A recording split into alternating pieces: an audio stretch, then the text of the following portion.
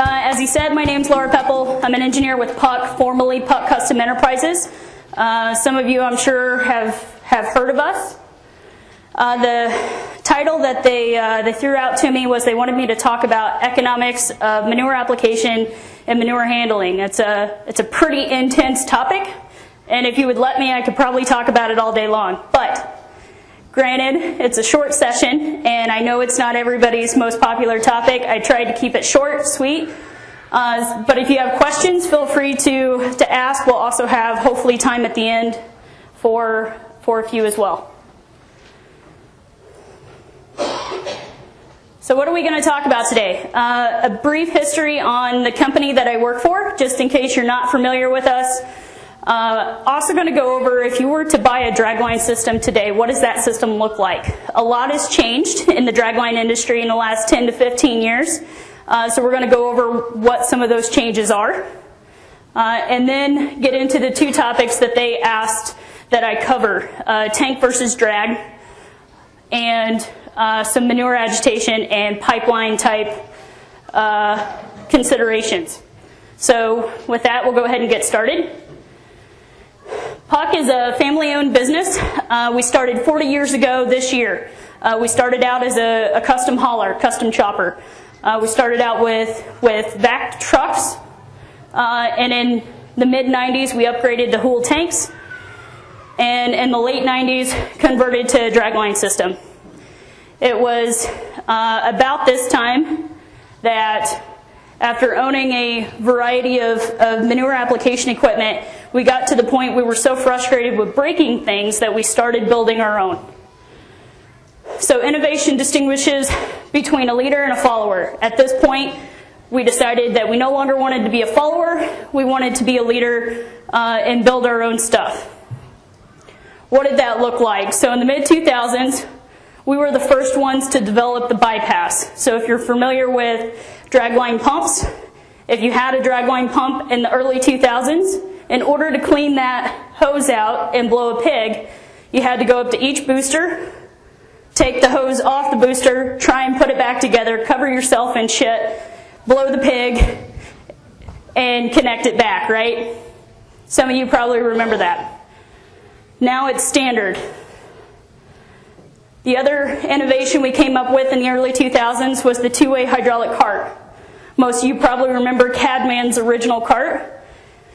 You could roll hose up, but what couldn't you do? You couldn't roll it back down, right? So in order to roll the hose back down in the early 2000s, you had to have a four-wheeler following the, the hose cart, driving on the hose to lay it out. Right? Pretty good innovation. The other thing we came up with was the tractor-mounted swing arm. Uh, what this did was allow us to increase the width of our toolbars, take the weight off the three-point, put it onto the tractor itself, uh, decreased our turnaround time, improved our efficiency in the field. Uh, we are still the sole uh, manufacturer of this piece of equipment. So what do we look like today? Uh, we started uh, we sold our first piece of equipment in 2007 out of a 3,000 square foot barn at Ben Puck's home place. That's right across the creek from, from this facility. Today we have 170,000 square feet under roof in four locations. Manning, Iowa is our headquarters. We also have a parts and service store in Sioux Falls and Dubuque. Sioux Falls, South Dakota, Dubuque, Iowa. We recently as of last spring, purchased a lay flat hose manufacturing facility that is in Angier, North Carolina, and manufactures lay flat hose under the name of Bulldog Hose Company. So, let's get to the, uh, the guts of the presentation. So, modern dragline system. What are some things that have changed in the last 10 years? And if any of you have worked with a dragline system, you probably already know most of this. We've increased the, the horsepower. Uh, we've increased hose size, right? It used to be that Cadman's hard hose at, at 4 inch or 6 inch mainline was, was the cat's meow, right? Now, um, most people are going with 8 and 10 inch lay flat, considering 12 in some situations. Larger, more efficient pumps. We used to, we used to run uh, either homemade pumps, um, or smaller diameter 17 inch pumps, now 19 inch are standard. Less fuel consumed, better tillage options. Uh, the tillage options, I threw that on there last minute um, because I actually hadn't thought about it, but 15 years ago there was probably a lot of systems that were still running rippers regardless of, of what they were applying. Uh, where now we have coulter till options, many more minimum tillage options available uh, to get the, the type of coverage and um, field condition that you, you're really looking for from a landowner perspective. So what's driving these changes? In this case, um, we are being driven by smaller windows of application. Last fall being the primary, uh, a really good example of that. Our own crews, um, which I forgot to mention, we still run three application crews a year that apply 210 million liquid gallons annually. 60-40 um, split between dairy and, and swine. So we we still have men on the ground that apply this and use our equipment uh, every spring and fall.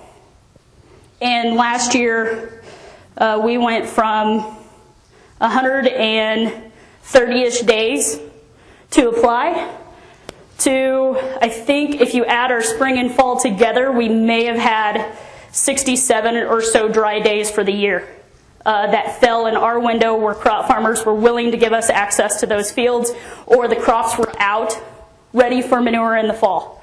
Right? Fall was brutal last year. So window of opportunity keeps getting smaller.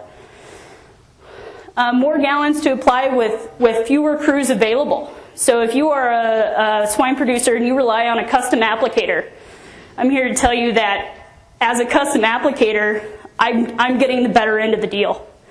There is so much demand for my type of work that I can turn people down. If you're not willing to pay my, pay my rate, then you know I can easily say, well, I can go pick up another couple of million gallons down the road because your neighbor is. So in addition to being high demand, your particular industry in the last several years has built a lot of barns. Barns equal manure.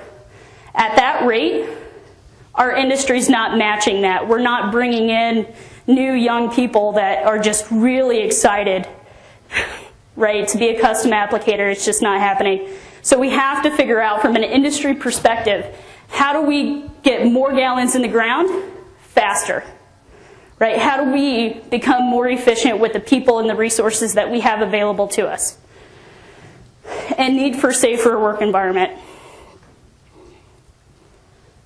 So what does that look like? Just threw this slide in. Um, in 2009, if you look at the engine, pump, hose, flow, productivity, fuel consumption, labor, for a drag line, you probably had a repurposed engine. You either had a, a homemade pump or a foreign HTV 17 from Cornell. You were probably running 6-inch mainline. Your, your averaged max flow was sitting at about 1,500 gallon a minute for your system. Probably running less than that on a daily basis. Productivity max was 90,000 gallons per day, per hour, excuse me, per hour. Fuel consumption was probably around 700. If you look at today's systems, if you were to come buy a brand new dragline system, what would you expect? You would get a new 9 liter or 13 liter, depending on what type of manure you're applying. If you're solely going to apply finishing manure, you don't need the extra horsepower from the 13. You can get by with just the 9. 19 inch uh, MPC 6819 comes standard. Uh, you've got other options, but that's the standard. Uh, it has a max flow on the curve about 3,500 gallon a minute. 8 inch mainline, most likely 6 inch drags. This system with this setup gets you most likely 3,200 gallon a minute max to the applicator. Now I just told you the pump is 3,500. The system can spit out 32. Does anybody know what my limitation is? It's my drags. So two 6-inch drags consumes too much pressure. I can't get that high a flow. If I swap one of those 6-inch for 7-inch, I'm pretty darn close to what that max matching what that pump can can put out. Uh, productivity doubles, Fuel consumption goes down. Why does it go down? We're more efficient, right? We're spending less time applying more gallons. Name of the game. So it's costing us less to put more gallons on faster. Labor, both systems would have taken three men. With today's control systems, we rarely see a dragline crew with more than three guys. Ten years ago, you may have had a person per pump, depending on what your situation was. So again, if you were to, to come buy a brand new dragline system, what's it going to come standard with that it didn't 10 years ago? State-of-the-art control systems. 10 years ago, it was a perk if you were able to monitor your, monitor your pressures without having to walk up to a, a pump and look at a manual gauge. Safety shutoffs, unheard of 10 years ago. Now, our control systems can, and from an industry perspective, our control systems can auto detect pressure spikes, drops, and shut down immediately. Right? So that's going to allow us to, uh, if something does happen, hose breaks, pump blows apart, it's going to allow us to limit and contain that problem faster. Right? So a control system can respond faster than any one of us in the room engine performance monitoring, uh, performance reporting, those are, are newer things that are coming online with these control systems. Uh, hydraulic and electric gates, the first uh, pumps with, with dragline systems, especially with the new bypasses on them, right, were all manual gates. If you wanted to, if you wanted to blow a pig, you had to send a guy down the line. You had to open one gate, close another on, on every pump before you could shoot that pig. Now it's all at the fingertips of whoever's driving the applicator tractor. Rear PTO options, that's more in the dairy industry. You get more flexibility. If you have lagoons, then essentially what that, that is, is, is you get engines that have PTO options where you can hook up uh, hydrostats to run a stem pump or some other type of feeder pump in a, what we call a warthog package. So you don't have to have a separate type of lead pump to be able to go to a lagoon versus a, a deep pit. You have some flexibility there. So, tank versus drag. Um, every situation is different. Uh, I didn't want to walk into a room of producers and assume that I knew what all of your situations were and tell you to go one system or the other. That's, that's not why I'm here today. Um, so what I chose to do was look at if I was in a producer's shoes, what would I want to know to be able to help facilitate that decision if I was considering an upgrade between a tank and a dragline system. First thing I would consider again, window of opportunity. How many days do I have? How many gallons do I, I need to get out? Amount of manure, how many gallons do I need to get out? and resources available. So what do I have today versus what am I going to need if I upgrade? So window of opportunity, what I typically look at for window of opportunity is productivity, gallons per hour, and how many days does it take to apply. So we're going to walk through an example uh, comparison. I chose a 7,300 gallon tank uh, I know there's smaller, I know there's larger. I decided it was in the middle, so I ran with a 30 or 7,300 gallon tank, four minute fill time, 95% full per trip, 10 minute unload time, 15 mile an hour loaded, 20 mile an hour capacity or empty on the way back to the farm.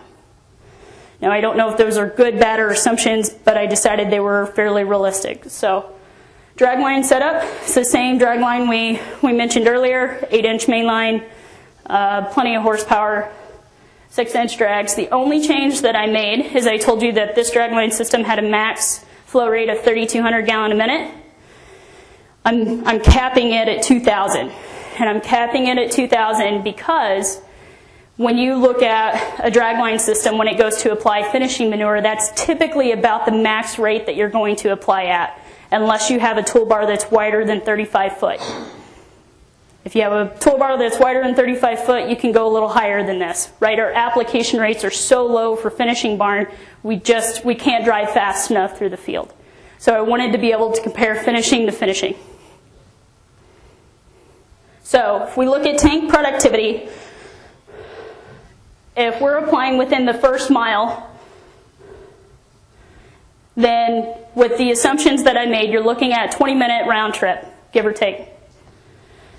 Three loads an hour. So you take those three loads over an hour, you're, you're right at 20,000 gallons per hour uh, to apply within a mile with a tank. That's, that's 48% efficient. That's actually not bad. That's right in tank's wheelhouse. It's hard to beat. If I'm, if I'm within two miles, I'm still not bad. I get two loads an hour. My efficiency drops, right, because I'm, I'm driving a little further empty. Takes a little longer to get to the field. I'm at 36% efficient, but I'm still getting 15,000 gallons per hour. It's still not bad for a tank. Where it gets a little, little hairy is if you're beyond that two miles. At five miles, we're at basically one trip an hour, 20% efficient, and maybe 8,500 gallon an hour applied. That stings a little bit, depending on how much manure you have. So if we take the dragline system and compare it back to what the tank system was within a mile, 2,000 gallons a minute, 70% efficient. So what does that 70% efficient mean? With tank, we know what the, the 48% efficient meant.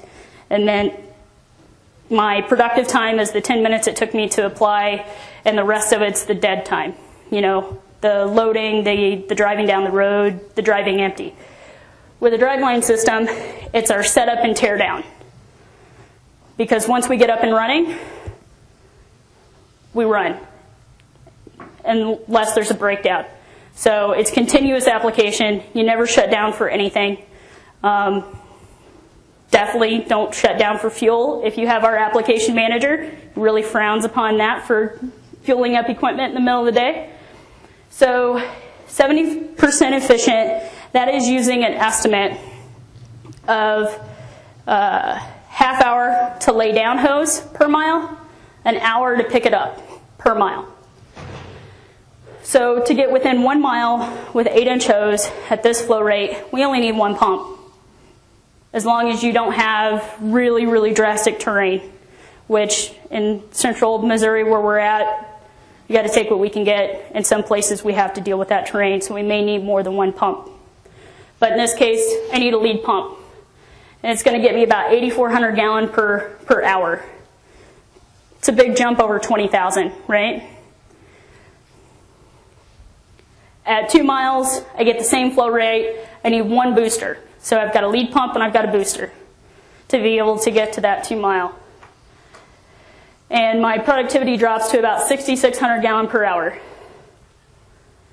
At five miles, to keep it simple and only add one more booster, I had to drop my flow to get 1600. Otherwise, I was going to need four pumps, give and take. So at three pumps, I'm still at 38.4. I'm still beating the tank. If you had if you wanted to match these, these uh, productivity rates using tanks, you would need at least four tanks to match this system. Now, am I saying that drag lines are superior to tanks? No, that's not what I'm saying at all. I'm saying in this scenario, if you look at it just based upon productivity and efficiency rates, this is what you're going to get. This is what you would expect gallon per hour applied for these two types of systems. But it's relative, right? So if I have one finishing barn, maybe a couple of finishing barns, do I really need a system that's going to apply at 8,400 or 84,000 gallons per hour? Does it really pay off? How long does it take? So if I've got 1 million gallons, so typical 100 by 200 finishing barn to apply, that's 144 loads, 70 hours, or 6 days to empty that barn. The dragline system takes 15 hours, 1.3 days. I think you can see pretty clearly why you see a lot of custom applicators switching from tanks to dragline systems, right? From their perspective, more done, more money in my pocket. It makes sense. It doesn't necessarily make sense though from an owner operator. It really depends on what your objectives are, how many days you have to apply, and how many gallons you need to get out. Because if we look at 5 million gallons, 720 loads with a single tank, we're still at 330 hours, 28 days for a tank system. It's not necessarily unreasonable. Right? We can all imagine putting 330 hours on a tractor in a year. Not necessarily unreasonable. But if you get at 10 to 25 million, now all of a sudden you're talking about 670 hours or 1670 hours. Clearly we can see that that's not feasible with a single tank. So we either need to get more resources or we need to switch systems. So if I have more resources, what's it look like? We already know that to match the dragline system's uh, production, we need to have at least four tanks on the ground. So let's look at what it takes if we had three tanks. We're going to get pretty darn close. So if we had three tanks at a million gallons, that's 48 loads each. 23 hours, two days. Now we're talking, right? We don't have tanks hanging out at, from a custom applicator perspective, it's comparable, right? I'm, I'm willing to, to do that. At 5 million, 240 loads each per tank, 110 hours, 9 days. Still not unreasonable, but we don't see a, um, a lot of custom applicators doing that uh, unless they're in a, a, dairy type situation. And then 10 and 25 million. So 220 hours, 550 versus 150 and, and 380. So essentially, if we were doing, doing five miles or doing 25 million with a dragline is equivalent to doing 5 million with a tank based upon hours and days to apply. Unless you have three tanks. That was the last slide, sorry. So, other considerations when you're when you're thinking about um, tanks versus drag, soil compaction concerns. Uh, if you're if you're concerned about soil compaction, uh, then dragline is going to be clearly a little, little higher favored than tanks. Field size and layout. If you've got awkward layouts, small fields, then you're probably going to lean towards a tank. Uh, they're a little more maneuverable than a cord system in those types of setups. Road condition. If we were in the state of Wisconsin instead of the state of Missouri, the state would be regulating you out of tanks, uh, or at least trying to.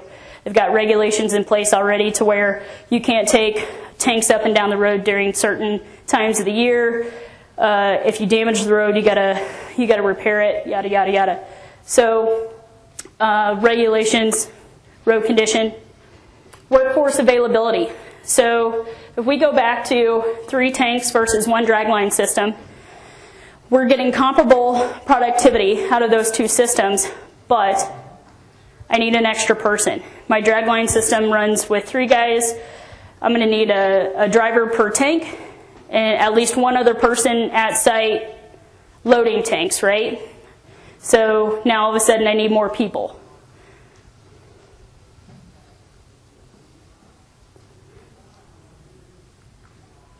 Too quick. So the last point, it's really hard to read with uh, the computer and how it converted the slides, but pumping duration on pig health and barn disturbance.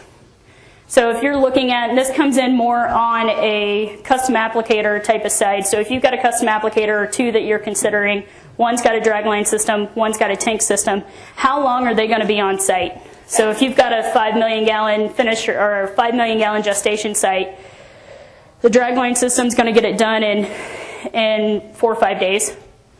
How long is the tank guy going to be there? A long time, right? Depending on the number of tanks that he has. So that's a consideration is how long are they going to be on site uh, dealing with with decreased, increased ventilation, uh, curtains down type situation, uh, agitation, gases. Are there any questions over that? It was a lot of numbers. How to, so the gentleman in the front asked how we handle biosecurity from, from sow farms. So uh, for a dragline or both? So from a dragline perspective, what our crews do is we have our, our own wash bay. We have to bring all the equipment back to home base, wash, disinfect, and take it back out. The only thing that we can't wash is the hose. Everything else is, is washed. Now, in some cases, depending on who you're working with, Carthage and, and some other firms, they actually require you to, to bake. Um, bake your equipment in between uh, to ensure that you're getting everything that's on that piece of equipment, uh, including what's inside. That's a good question. Any other questions? Okay. So the, um, the last section is going to be brief on agitation and then some information on pipelines. So um, we get a lot of calls on from owner operators that are concerned about solids buildup in their pits. Uh, and I don't blame them. Solids is a, a, battle that has become increasingly difficult to deal with in, in deep pit situations.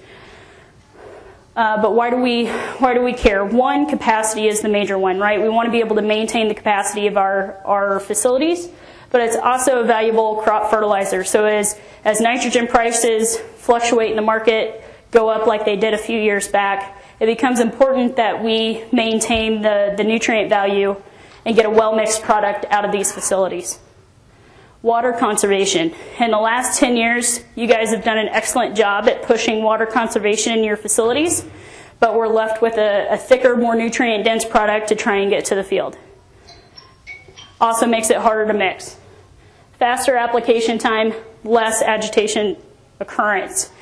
So I can't stress this enough. If a custom applicator shows up on your site, do you think he cares about agitating eight hours in advance before he starts applying?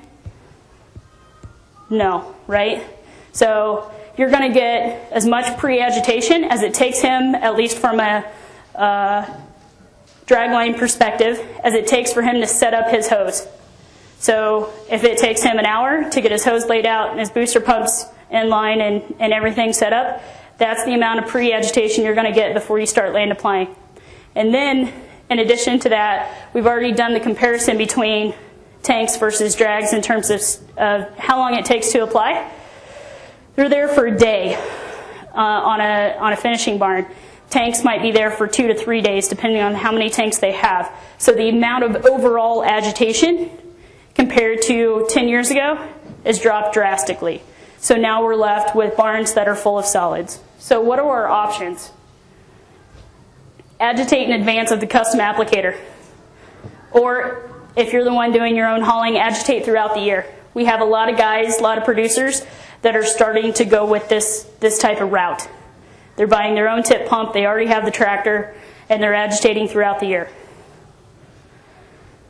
better pumps uh, available today. Maybe they already have a tip pump, but it's 20 years old. We've made a lot of progress, even on the tip pump side, to get higher volume uh, tip pumps to run off less horsepower. Uh, Nuhn makes a really good one, um, as well as Houle's 8 inches is comparable to it, but Nuhn's I think is still a little better. Innovative systems. We do have some guys going the mass agitation route. Mass agitation is basically whole barn agitation. It's a pipe network that you put in a new build. You agitate one barn with one pump, uh, and it's a recycle system.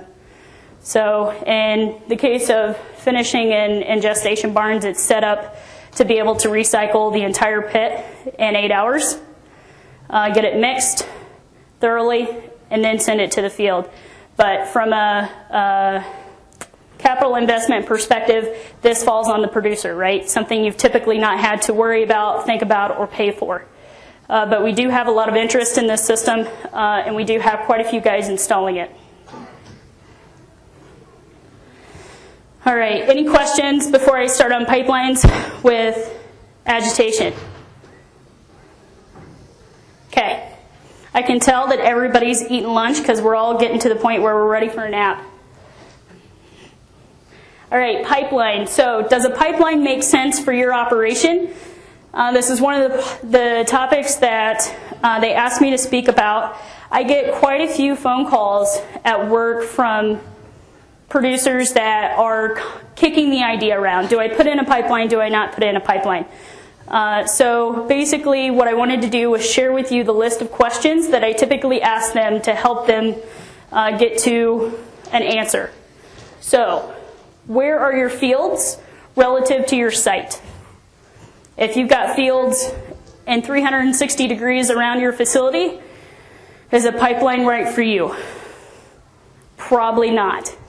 But if 80% of your fields are in one direction along a linear, depending on the, the number of gallons you have at that facility, then we should start considering it. Terrain. Terrain plays less of a factor, but elevation, uh, when paired with riser locations for booster pump type uh, placement, becomes a factor. So if you have hillier terrain, uh, then it becomes imperative that you're actually doing the flow calculations for that pipeline before just buying it and having it installed. Size and transitions. So um, with lay flat, when we consider size of lay flat, there's no, this 8 inch is better than that 8 inch, right? So lay flat, 8 inches, lay flat, 8 inch. It doesn't matter if I'm selling it, FarmStar is selling it, or somebody else is selling it right? We know that the diameter of that hose is 8 inch, same with 10, same with 12. Pipeline is not created equally.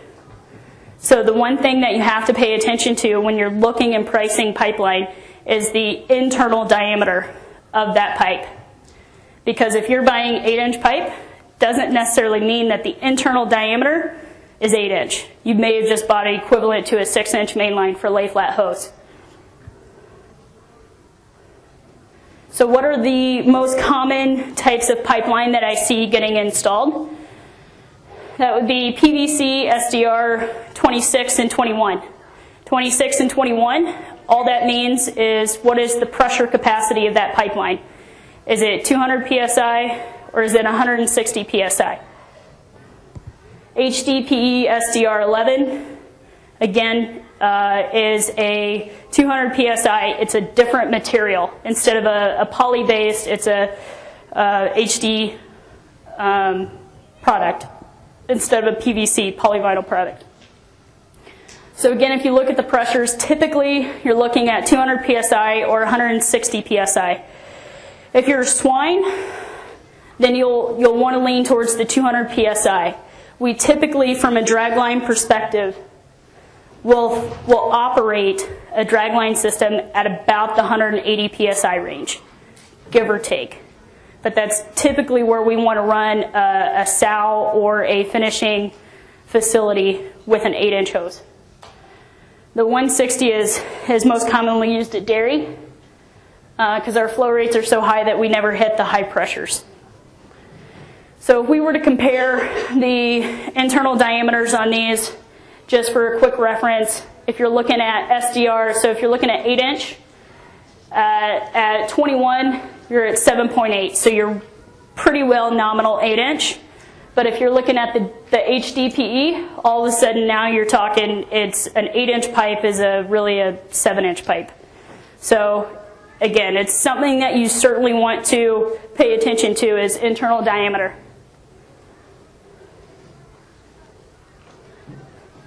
Maybe? The other thing I wanted to throw in was price per mile. These are estimates. Um, I don't sell pipe, but I, I know roughly in our area what it takes to install pipe. Uh, and when I compare that to lay flat, I'm comparing it to the cost of the hose and the cost of the cart that you're going to need to haul the hose. So in this case, if you're looking at 8 inch, you can get pipeline installed for just under 100 grand per mile, at least in our area. And for a mile of 8 inch and the cart that takes to haul it, you're actually a little cheaper to go the lay flat side. It's when you get into 10 and 12 inch that the price tends to, to differ. And this is actually a typo. So pipeline for 10 inch is roughly 100 grand. For the 10 inch lay flat with the cart that it's going to take, this is actually 130. I corrected it and forgot to hit save. So 100 grand versus 130 grand. And then 12 inch, which from a swine perspective, it's, it's really too big for, for what you guys need, um, would be a little more at 105. But what's our return on that investment?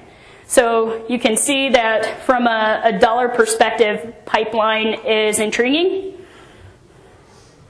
But in 5, 10, 15 years, is anybody going to give me any trade-in value for that pipeline so I can get the next newest, shiniest pickup truck off the lot? No.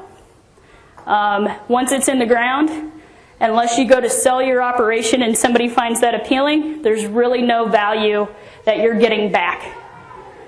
Especially if you have a custom applicator that shows up with a dragline system to use that pipeline. Now, if you have your own dragline system, then it's there's some cost savings there because you're not having to pay for lay flat. Something to consider. There's no trade value. It's permanent. And because it's permanent, make sure you size it accordingly.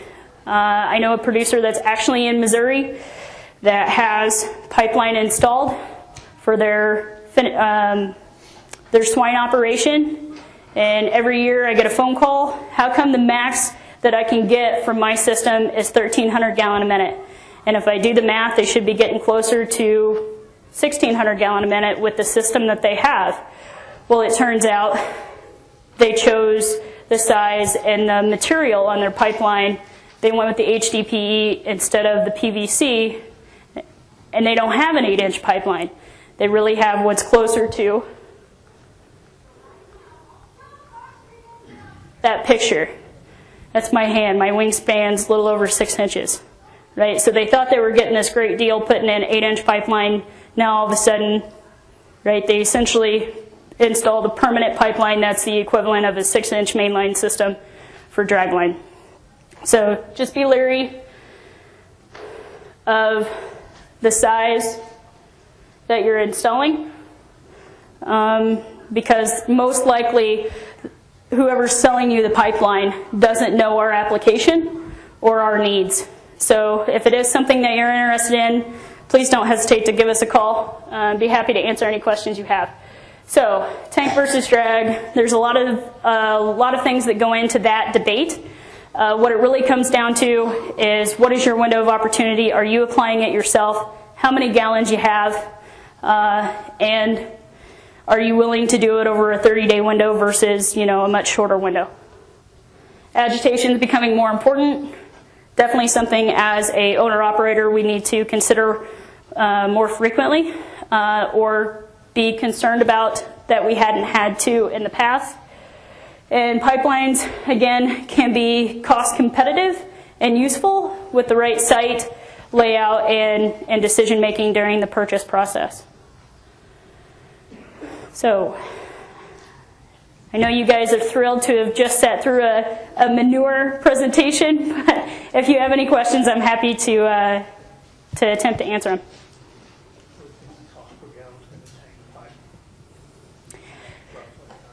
So Joe in asked what the cost per gallon uh, between the tank and, and the pipe.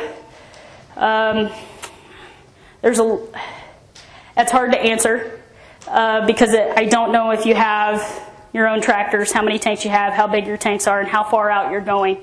Um, but I would say that when you look, when you compare the lay flat to the pipeline, um, and you throw in tank, tanks almost always going to be cheaper, right? Because it's it's cheaper than a dragline system is naturally. Um, but I don't have a, a good hard answer for you. Any other questions? Come on, the red hair is not that scary, I promise.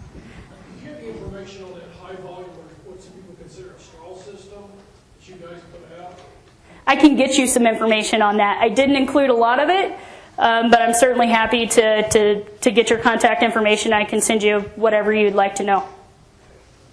On the straw system, you have to pull up going in and pump the other, does your intake have to be through the other end of the building or can be close?